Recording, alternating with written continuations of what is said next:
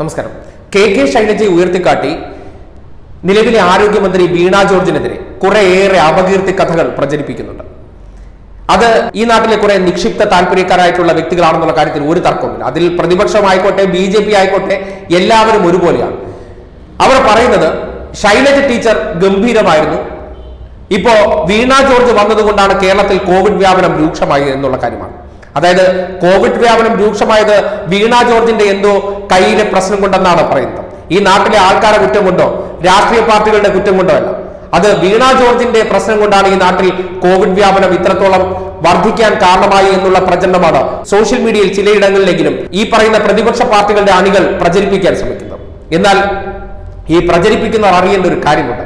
വീണ George എന്ന വ്യക്തി ആരോഗ്യമന്ത്രിയായിട്ട് അധികാരം ഏറ്റെടുത്തിട്ട് കേവലം അഞ്ചോ ആറോ മാസം മാത്രമേ ആയിട്ടുള്ളൂ.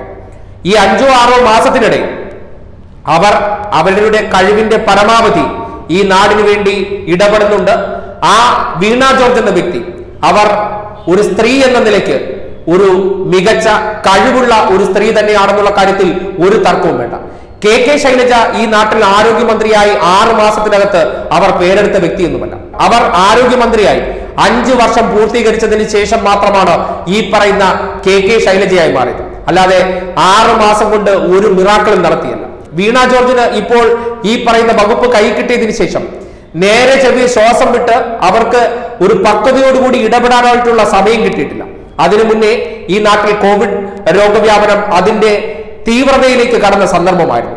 അത് ആദ്യഘട്ടത്തിൽ പറഞ്ഞു തെരഞ്ഞെടുപ്പ് നടത്തിയത് കൊണ്ടാണ് അത്തരത്തിൽ കോവിഡ് വ്യാപനം രൂക്ഷമായതെന്ന് പറഞ്ഞു. എന്നാൽ ഇന്നത്തെ കാലഘട്ടത്തിൽ എത്തിപ്പെടുമ്പോൾ തെരഞ്ഞെടുപ്പ് നടത്തിയിട്ടല്ല. ഈ നാട്ടിലെ ജനങ്ങളുടെ കൈയിരിപ്പ് കൊണ്ടാണ് കോവിഡ് വ്യാപനം അതിരൂക്ഷമാകുന്നത്. ജനങ്ങളെ ആ രീതിയിൽ ഒരു മനോഭാവക്കാരാക്കി മാറ്റുന്നതിന്റെ ഉത്തരവാദിത്വം ഈ നാട്ടിലെ പ്രതിപക്ഷത്തിനാണ്. കോവിഡ് എന്ന് പറഞ്ഞാൽ ഒന്നുമില്ല വന്നു കഴിഞ്ഞു കഴിഞ്ഞു. ഇനി പ്രശ്നമൊന്നും ഉണ്ടാക്കാൻ പോകുന്നില്ല നമുക്കൊന്നും പറ്റില്ല.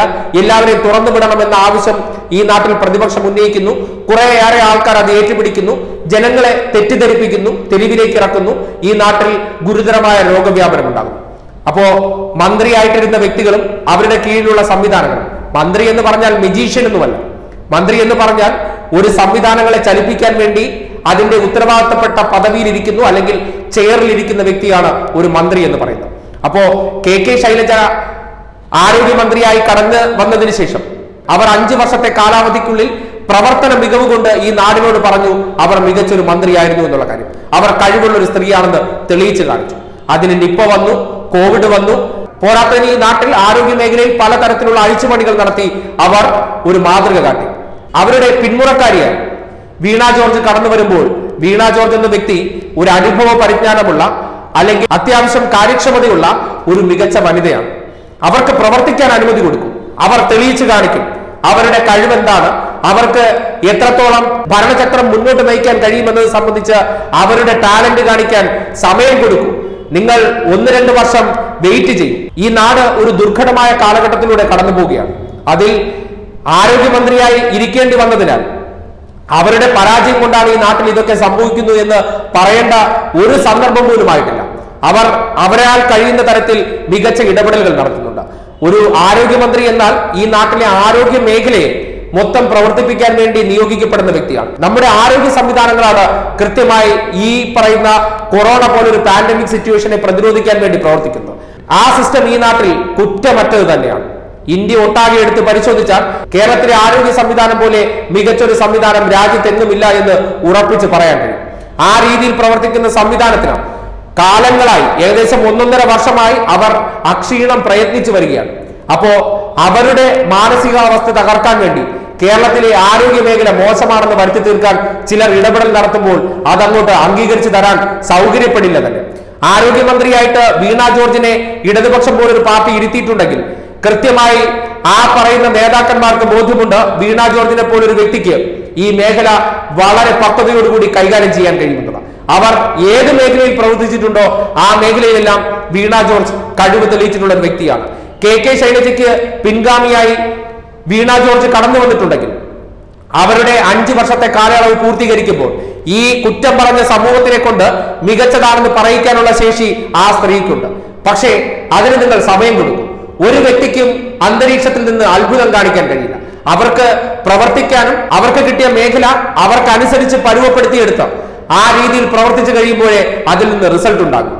ആ റിസൾട്ട് ഉണ്ടാക്കാൻ ശേഷിയുള്ള വ്യക്തി തന്നെയാണ് വീണ ജോർജ്. അതുകൊണ്ട് നിങ്ങളിപ്പോൾ ഈ നാട്ടിലെ വാക്സിനേഷൻ പ്രക്രിയ എടുത്ത് പരിശോധിച്ചാൽ രാജ്യത്താകമാനം എടുത്തു നോക്കിയാൽ കേരളത്തിൽ നടക്കും പോലെ വാക്സിനേഷൻ പ്രക്രിയ മറ്റൊരിടങ്ങളിലും നടക്കുന്നില്ല. ഏകദേശം എൺപത്തി അഞ്ച് ശതമാനത്തോളം പതിനെട്ട് വയസ്സിന് മുകളിലുള്ള ആൾക്കാർക്ക് ഒന്നാം ഡോസ് വാക്സിൻ കൊടുക്കാൻ കേരളത്തിന് കഴിഞ്ഞിട്ടുണ്ട്. അറുപത്തഞ്ച് വയസ്സിന് മുകളിലേക്ക് പ്രായമുള്ള തൊണ്ണൂറ്റി അഞ്ച് ശതമാനത്തിലധികം ആൾക്കാർക്കും ഒന്നാം ഡോസ് വാക്സിൻ കൊടുക്കാൻ കഴിഞ്ഞ നാടാണ് കേരളം. അഞ്ച് ലക്ഷത്തിൽ പരം ആൾക്കാർക്ക് ഒറ്റ ദിവസം വാക്സിൻ കൊടുക്കാൻ കഴിഞ്ഞ നാടാണ് കേരളം. ഈ പറയുന്ന നേട്ടം ഇന്ത്യക്കകത്ത് മറ്റ് ഏത് സംസ്ഥാനത്തിലാണ് നേടിയെടുക്കാൻ കഴിഞ്ഞിട്ടുള്ളത്? ആ രീതിയിൽ എണ്ണയിട്ട യന്ത്രം പോലെ ഒരു സംവിധാനം പ്രവർത്തിക്കുന്നു. അപ്പോഴാണ് ചില സങ്കുചിത ചിന്താഗതിക്കാർ അവരുടെ ആത്മവിശ്വാസം തകർക്കാൻ വേണ്ടി ഇത്തരം ആരോപണങ്ങളുമായി ഇറങ്ങിത്തിരിച്ചിരിക്കുന്നത്. അതായത് ഒരു വ്യക്തിയെ മറ്റൊരാളോട് താരതമ്യം ചെയ്ത് അയാൾ മോശക്കാരിയാണെന്ന് വരുത്താൻ ശ്രമിക്കുന്നു. എന്തൊരു മനസ്സാണ് ഇതൊക്കെ ഈ മാനസികാവസ്ഥയൊക്കെ ഒരുതരം മനോരോഗമാണ്. ചിലർക്ക് എന്തെങ്കിലുമൊക്കെ കുറ്റം കണ്ടെത്തണ്ടേ. ഒരാളുടെ കാര്യക്ഷമത എത്രത്തോളം ഉണ്ട് എന്ന് ബോധ്യപ്പെടുത്തേണ്ടത് അയാൾ ചെയ്യുന്ന വകുപ്പിൽ കാര്യങ്ങളൊന്നും നടക്കുന്നില്ല എന്ന് ബോധ്യപ്പെടുമ്പോഴാണ്. എന്ത് കാര്യമാണ് ആരോഗ്യ മേഖലയിൽ നടക്കാത്തത്? ഈ നാട്ടിൽ കോവിഡിന്റെ രണ്ടാം തരംഗം വന്നപ്പോൾ പിടിച്ചു നിർത്താൻ കഴിഞ്ഞത് ഇവിടത്തെ പ്രവർത്തനങ്ങളുടെ മോശം കൊണ്ടാണ്. അന്ന് ആരോഗ്യമന്ത്രിയായിരുന്നത് വീണ ജോർജ് തന്നെയാണ്. ഇപ്പോൾ ഓണത്തിനോടനുബന്ധിച്ച് ഇവിടുത്തെ കോവിഡ് മാർഗനിർദ്ദേശങ്ങൾ ലഘൂകരിച്ചു കൊടുത്തപ്പോൾ പൊതുജനങ്ങൾ തെരുവിലേക്ക് ഇറങ്ങി വീണ്ടും കോവിഡ് വ്യാപനം ഈ നാട്ടിൽ പടർന്നു പിടിക്കുന്ന ഒരു സാഹചര്യം ഉണ്ടായിരിക്കുകയാണ്. ഈ പറയുന്ന സാഹചര്യത്തെയും ഈ നാട് അതിജീവിക്കും. അതിനുവേണ്ട സംവിധാനങ്ങൾ ഈ നാട്ടിലുണ്ട്. അത് വീണ ജോർജ് അതിന്റെ തലപ്പത്തിരിക്കുകയാണെങ്കിൽ അവർ വളരെ പക്വതയോടുകൂടി തന്നെ ആ വിഷയത്തെ കൈകാര്യം ചെയ്യും. ഈ ആരോഗ്യമന്ത്രിയായിട്ടിരിക്കുന്ന വ്യക്തികൾക്ക് ഉറക്കമില്ലാത്ത രാവുകളാണ്. എത്ര മണി കൊണ്ട് എത്ര മണി വരെ ജോലി ചെയ്യുന്നു എന്നൊക്കെ ചോദിച്ചാൽ അതുപോലും ഒരുപക്ഷെ ഈ വിമർശനം ഉന്നയിക്കുന്നവർക്ക് അറിയാൻ കഴിയില്ല.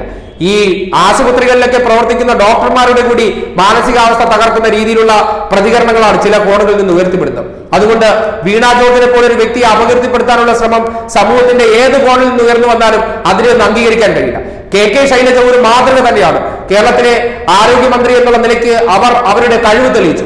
എന്ന് കരുതി ശൈലജയ്ക്ക് പകരക്കാരിയായി മറ്റൊരാൾ ഈ നാട്ടിൽ വരാൻ പാടില്ല എന്ന് ആർക്കെങ്കിലുമൊക്കെ നിർബന്ധ ബുദ്ധി ഉണ്ടെങ്കിൽ അല്ലെങ്കിൽ ശൈലജയെ റോക്ക് സ്റ്റാർ എന്നൊക്കെ വിളിച്ച് അവഹേളിച്ച ടീംസാണ് ഈ പറയുന്ന അവരെ ഇപ്പോൾ മഹത്വവൽക്കരിച്ച് കാണിക്കുന്നത്. അതുകൊണ്ട് നിങ്ങൾ ശൈലജയെ ഒരു കാലത്ത് ഏതൊക്കെ തരത്തിൽ അവഹേളിച്ചിട്ടുണ്ട് എന്നുള്ളതും ഈ നാട് കണ്ടിട്ടുള്ളതാണ്.